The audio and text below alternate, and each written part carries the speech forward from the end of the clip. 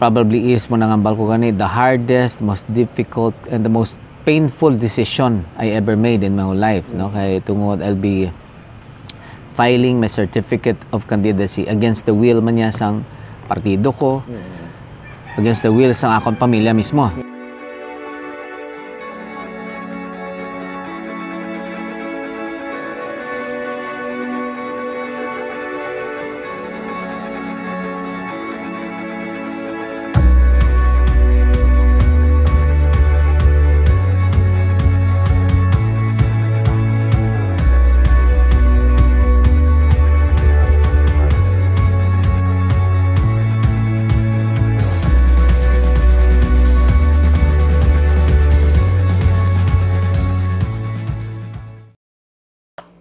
Noong taon 2016, pasang tatakbo bilang gobernador ng lalawigan ng Cadiz, si Nonoy Evan Contreras, na sa panahon na yon ay nakasilbi na ng dalawang term of office bilang vice gobernador ng lalawigan.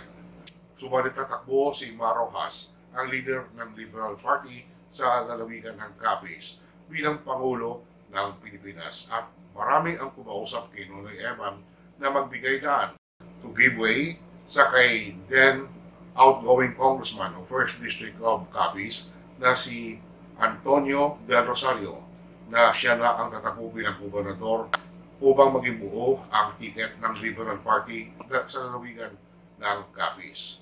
Naging mahirap na desisyon para kay Nonoy Evan Contreras dahil marami na ang mga leader niya ang naghihintay sa kanyang pagtakbo bilang gobernador ng lalawigan. Tao barangay officials ko push na gaman sa aton Oo. oo. Um, ito lang, ang problema lang kay siyempre last term naman ni Kong, Ah. Tony that time, no? Nagub Tony as congressman. So duway man sa katuan Hmm. and madalagan si uh, Marsa to presidente. Ah. So dito uh, medyo lapit na filing um, na medyo nagkuhan pa kami sa to pamilya. Eventually na persuade man nila gid ko nga magpaiway no, paiway para sa partido, para kay Mar. Uh, masakripisyo naman kita kay may last term tapusong ko lang last term ko kay si uh, ang istorya sa akon amay uh, kay Kong Tony, uh, committer man sila, kay nambal man nila sa akon. Nga isa lang gid sa ka-term, no? Kay tigulang naman sa ko, no? Oo. Ah, ako naman pagkatapos ko term. So, although way man gid to, halos damo. Do 9 out of 10 nagambal sa ako nga do hindi kinay mapatihan. Oo.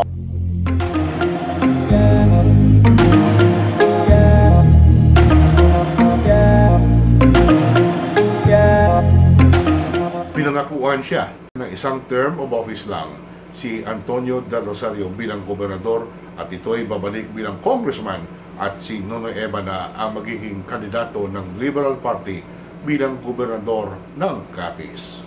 Subalit ilang buwan bago ang deadline sa pag-file ng certificates of candidacy sa local and national positions ay kinausap na ito ni Governor Del Rosario at iba pa mga leader ng Liberal Party na ipatuloy na lang ang pagkagobernador ni Del Rosario at, at ibigay na sa kanya ang pwesto bilang municipal mayor ng bayan ng Pontevedra Capiz ng sariling ama na si dating gobernador Dr. Esteban Contreras.